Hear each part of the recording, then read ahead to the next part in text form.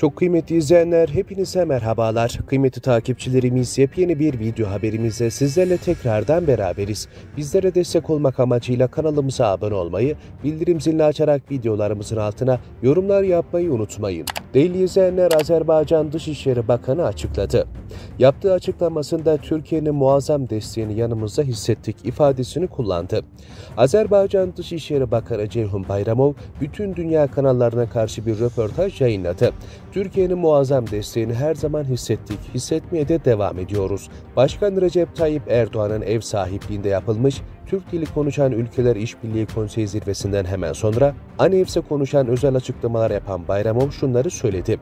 Türkiye ve Azerbaycan arasındaki güçlü dostluktan övgüyle bahsediyorum.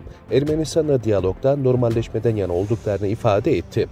Azerbaycan Dışişleri Bakanı Ceyhun Bayramov yaptığı açıklamasında resmen Ermenistan'a gözdağı verdi, Türkiye'ye bir kez daha teşekkür etti. Değerli takipçilerimiz Bayramov yaptığı açıklamasında inanıyoruz ki bu zafer sadece Azerbaycan devletinin, Azerbaycan halkının zaferi değildir. Aslında bütün Türk dünyasının zaferidir. Çünkü biliyorsunuz ki 30 yıl boyunca işgalden sonra Azerbaycan'ın toprak bütünlüğü, adaletini, uluslararası adaletini, ana vatanlarından kovulmuş 1 milyona yakın insanın haklarını yeniden tesis etti, diyerek konuştu.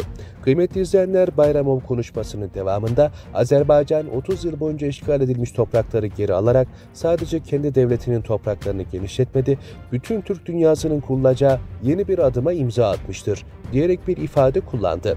Değerli izleyenler, zaferimiz hayırlı olsun.